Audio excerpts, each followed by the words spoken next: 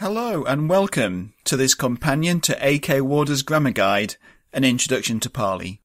And you can find a link to this in the description below.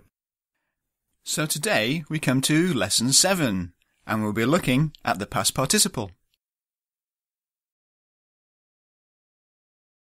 This is Pali Studies on the Learn Pali channel. Now, past participles can be difficult to get your head around but they are extremely important in Pali. Lesson 7 is where many students become unstuck, and this is because I think Warder expects his readership to know already both what participles are, what the passive voice is, and how the two interrelate. And throughout this chapter, he touches on many complex areas of linguistics, and so it can be hard to follow if you don't already have this knowledge. So to simplify, I'm going to rearrange the order of the sections a little and deal with neuter nouns first and then the instrumental case. But then we'll spend some time recapping verb tense and voice to get an idea of just how participles function before going on to look at how they work in Pali. But you might find you need to return and re-watch some of the sections and remember that there are also some detailed tutorials on both verb tense and voice to help too. Right. Let's begin then with something hopefully familiar. Back in lesson one, if you remember, we touched on the gender of noun stems. Every noun has a gender, and substantives usually have just the one gender, either masculine, neuter, or feminine. And we typically classify noun stems by both gender and the letter in which their stem ends because these have a common pattern of declension. Remember, a noun stem is just a noun without its declensional ending, and these are how they're listed in the dictionary. So in this section, Warder introduces us to a new noun gender, the neuter. And we can see here that neuter noun stems all end in a short vowel. There are a small number which end in a consonant, but in this lesson we're just looking at the A stem neuter declension and Warder gives us as a paradigm the example of yana, meaning a carriage or a vehicle. So first we can see that the neuter noun in the nominative and accusative case for singular nouns take the same ending, ang, and the vocative is the bare stem ending, and in the plural they all take the same ani ending. And if we compare this now to the masculine A-stem nouns that we've seen before, we can see that the neuter declension is different in the plural and the nominative singular, but similar in the vocative and accusative singular, and these in fact are the only differences as the rest of the declensional case endings are exactly the same in the neuter as they are in the masculine. And we can see this if we now look at the instrumental case ending for both the neuter and the masculine. Here we can see that A-stem nouns take ana in the singular and ahi in the plural. There's also an archaic case ending in the plural, abhi, which you may also sometimes come across. So before we move on to the instrumental case, Warder also gives us the instrumental case endings for the pronouns that we saw back in lesson 5. So if we look at the personal pronouns, the first and second person are a little irregular in the instrumental, but we can see the ana ending in the third person masculine and neuter. And we can see ahi in the plural too. And don't forget these third person forms can also be demonstrative. This is the pronoun stem ta, so means that and those, but there are also other pronoun stems, and Warder gives us ima, which means this and these. The pronoun forms can be a little daunting, as there are literally hundreds of them. But don't panic, as I've collected together all the pronoun forms and put them into a single document, a link to which is down in the description below. What's important to remember here is those characteristic instrumental endings. So if we now concentrate on the instrumental case, this case largely overlaps in meaning with the English prepositions by or with, and it's used to indicate the means by which something is done. We'll see more uses of the instrumental case in the next lesson, but for now we'll just stick with this simple definition. So if we wish to render he locks the door with a key into Pali, we'd inflect the verb into the third person to match the subject he, and the noun for door would be placed in the accusative case because it's the object of the verb, whilst the word for key is declined in the instrumental to indicate that it's the instrument by which the door is locked. And the general order of a Pali sentence is to have the verb at the end and the subject first, along with things which belong to the subject. In this case, that's the instrumental, and this is followed by the accusative object. So if we now look at a couple more examples of the instrumental, so we have, by wisdom one obtains happiness. And this could be rendered equally, through wisdom one obtains happiness. And it is taught by the Buddhas. You might notice here that desetang isn't a normal verb. In fact, it's a past participle. Warder gives us a long list of participle stems, and I want to next dig into how these are formed. But remember those instrumental case endings above, as we'll be seeing those later. Now it's important to be able to recognise past participles, and I think the best way to do this is to understand how they are formed. So let's break this down. Participles can be formed on the present verb stem, or more commonly, on the verbal root. And the past participle is formed by adding the infix ta. And when this is placed on the present stem, the infix takes a joining i sound. Whereas, if added to a root, and the root ends in a vowel, the infix ta is added directly. But if the root ends in a consonant, some take the joining i sound, whilst with others the consonant and the t may assimilate. Now to keep this short, I'm not going to go into the details of that here. But generally, this results in the duplication of the t sound. Finally, for verbal roots which end in an r or an n, these can be dropped before taking the infix ta directly.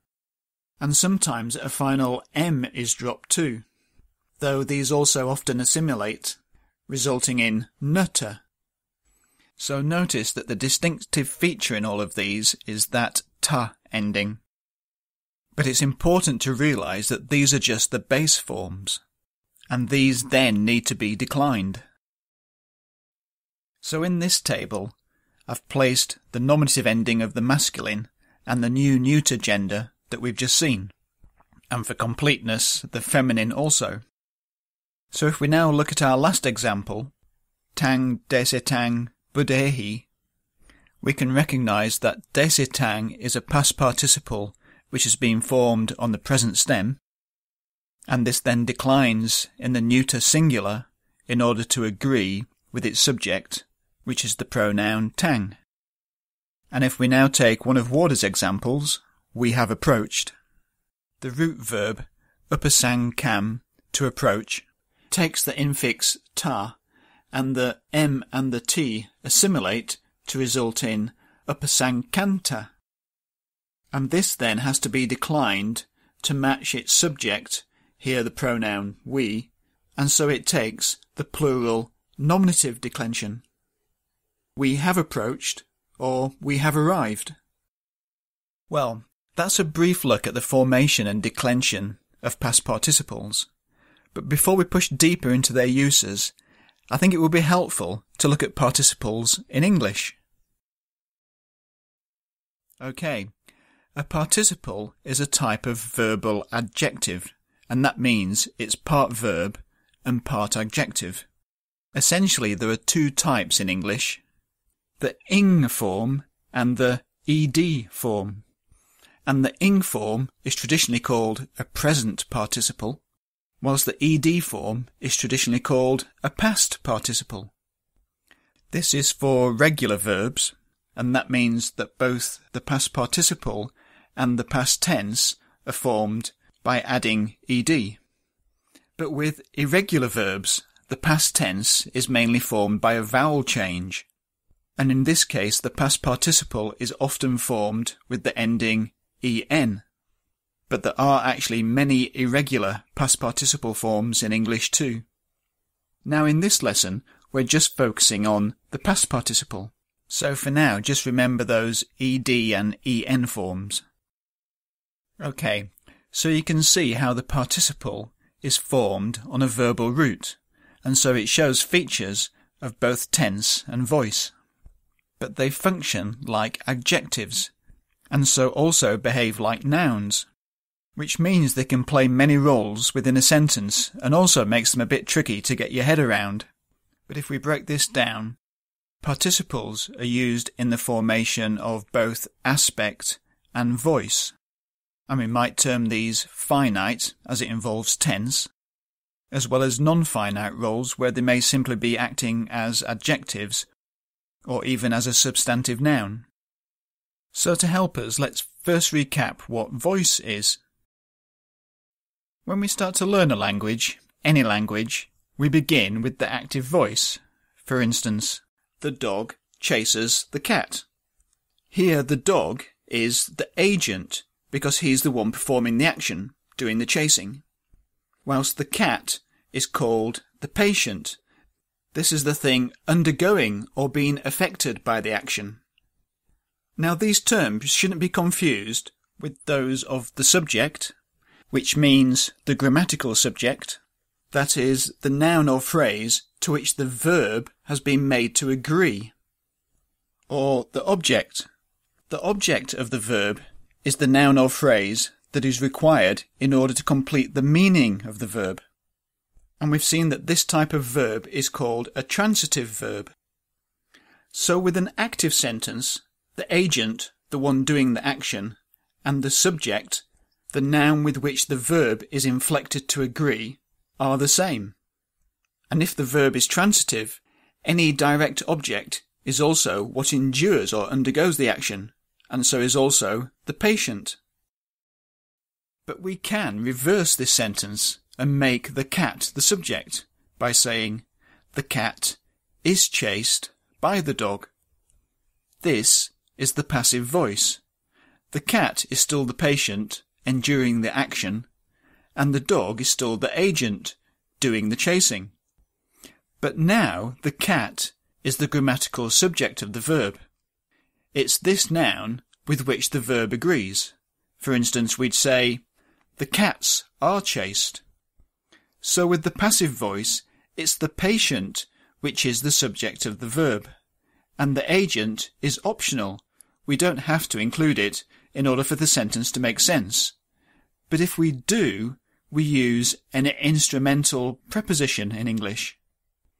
Also, know that the verb changes to become a combination of the verb to be plus a past participle. That ed ending, that's a past participle and not the past tense. The verb to be is termed an auxiliary verb or a helping verb, and it's this that carries the tense and actually agrees with the subject in English and a combination of verbs like this goes by the technical term periphrasis. And in English, the passive voice is always expressed by periphrasis, the combination of the verb to be expressing the tense and a past participle expressing the action. And one more note, you may also see the agent called the logical subject, as opposed to the grammatical subject. But actually, I find this a bit counterintuitive. Well, that's the passive voice.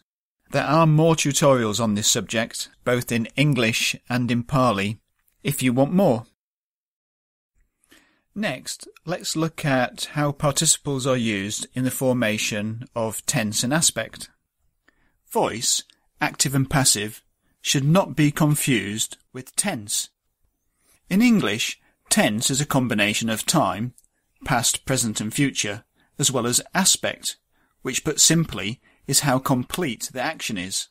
Whether it's ongoing at the time, which is the progressive aspect, and is expressed by a form of to be and a present participle, or whether it's complete, which is the perfective aspect, and is expressed by a form of to have, and a past participle.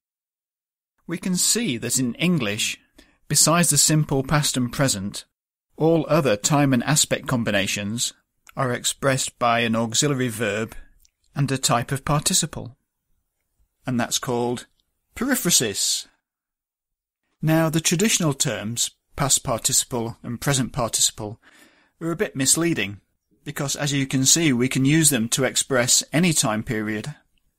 However, the present participle is associated with the progressive aspect, whilst the past participle is associated with the perfective aspect. And the key thing to take away from this for the moment is that past participles with the auxiliary have are used to create the perfective aspect. Well, that's in the active voice anyway. Because we can also do the same in the passive voice. In the passive voice, every time an aspect combination, including the simple, is expressed by an auxiliary and a past participle. So the simple aspect takes a form of to be and a past participle, I am seen, whilst the progressive takes a form of to be and being plus a past participle. I am being seen. Whereas the perfective takes a form of to have and been and then a past participle. I have been seen. And if you want more on aspect and tense in English, there are some more tutorials. So I hope you understand now just how important participles are in the formation of both tense and aspect. Okay. So now I think we're ready to go back and look at past participles in Pali. So we said that participles were part verb and part adjective, and we've seen that they're based on a verbal root and show features of both tense and voice like a verb, but they function like an adjective, and so they decline like nouns, taking case, number, and gender, rather than inflecting like a verb. And if we now remind ourselves of the roles that they play, we've just seen how they're used in the creation of aspect, both in the active and passive voice. But they also can be simply used as adjectives to qualify another noun, or occasionally, like any adjective in Pali, they can act as a noun themselves. So let's now take a look at each of these functions in turn. First, let's take the active voice. Unlike English, the past participle is very much associated with the perfective verb aspect. And also like English, we can think of this as being created by a combination of a past participle with an auxiliary verb and in Pali this can be any form of the verbs us, who, or bu, which all mean to be. Now each is used in a slightly different way, and we'll see more of this in lesson 24, hopefully. But for now, when a past participle is used to create a finite verb tense, it will be in the nominative case and will also agree in both number and gender with the subject whilst the auxiliary, being a verb, will agree in both person and number with that subject.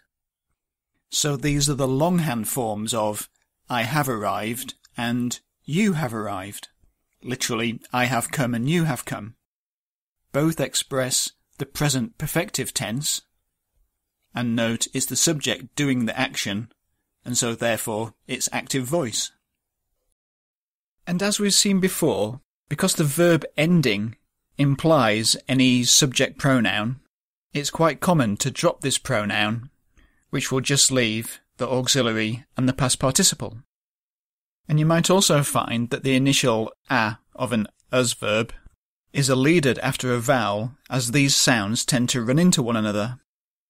And conversely, it's common also to include the pronoun but drop the auxiliary, as it's acting as a copula linking the participle to the subject. In fact, this is probably the most common construction, especially in the third person, that is, when the subject is anything other than I or you.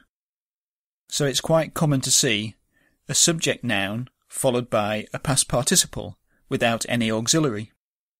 So there are three different variations here that are all used to express the same meaning. And to render these into English, we simply use a form of the verb to have, has, had, etc., and the past participle. But past participles used in the active voice are actually quite rare. In fact, they're restricted to just those formed on intransitive verbs, and especially to verbs of motion, like to come or go, as we've just seen. But past participles used to create the passive voice are, by comparison, very common, and these are formed from transitive verbs, as it's the patient that becomes the subject. So let's now look at the passive voice. So in the passive voice, remember, it's the subject of the verb that is undergoing or experiencing the action. And again, these can be found in those three variations, but commonly with just the auxiliary in the first and second person, and without the auxiliary in the third person. And again, in this case, the past participle will be in nominative, like the subject, and agree in both gender and number. And as these tend to represent the present perfective tense, we render them into English with the form of the verb to have, and then been to create the passive voice followed by the past participle. So now, if we look at the examples given by Warder, Evan May Satang, May is a first person pronoun in the instrumental case, meaning by me, and Satang is the past participle of the verb meaning to hear, and it's in nominative singular.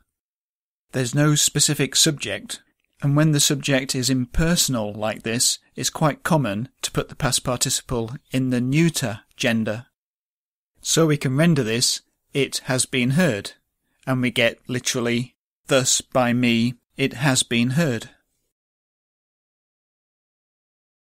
And if we look at the next one, Maya ime satar nimitar, we can see here from the tar ending that nimitar is a past participle here meaning created, and ime is a third person plural pronoun, meaning these, and satar, meaning beings or creatures, is also nominative and plural. And nimitar agrees with these in gender, case, and number. So these beings are the subject. They are what is being created. And mea is a first person instrumental pronoun, meaning by me, and so here this is the agent, the one doing the creating. By me, these beings have been created. So we can take a few things away from this. First is that the subject, that is the grammatical subject, will always be marked by the nominative case irrelevant of voice. And a telltale feature of the passive voice is that if the agent is expressed, it will be in instrumental case. If there's no agent in instrumental, it's a good idea to check if the verb is intransitive or not, in which case the sentence will be active. But if the subject is undergoing the action, and the past participle is from a transitive verb, or there's an agent in instrumental case, then it's likely to be in the passive voice. And one final point is that as English tends to favour the active voice, many translators flip passive sentences into the active voice by making any agent into the subject of the sentence. So the last examples can be rendered, thus I have heard, and I have created these beings. Well, now we can move on to the non-finite cases. As adjectives, past participles agree with the number, case and gender of the nouns they qualify. So here, the past participle is merely qualifying the subject noun, and so is in masculine nominative singular to agree with Brahmano. And of course, they can also qualify object nouns, in which case they'll take the accusative. And occasionally there may also be a subject complement, that is where a copula or linking verb is implied. And finally, past participles like any adjective in Pali can also on occasion act as a noun, in which case they will always take the neuter gender. For example, here barsitang is the past participle of the verb to speak, literally meaning spoken. But here it's been used as a noun to mean that which was spoken, or the speech has been heard. The important thing to take away from all this is to see how past participles are part verb and part adjective. And so when used as a verb, they have features of both aspect and voice. But they can also be used as an adjective where they simply qualify another noun. Well, thank you for sticking with this. As I know that many struggle with Lesson 7, I've tried to explain the sections as clearly as I can. Have a go at Exercise 7. The answers are no longer in the appendix, as the first six were, but I will give you a link to them in the next lesson. And feel free to check out the other tutorials on voice and tense if you need more help. And in the next lesson, we'll be looking in more detail at the instrumental case, as well as present participles.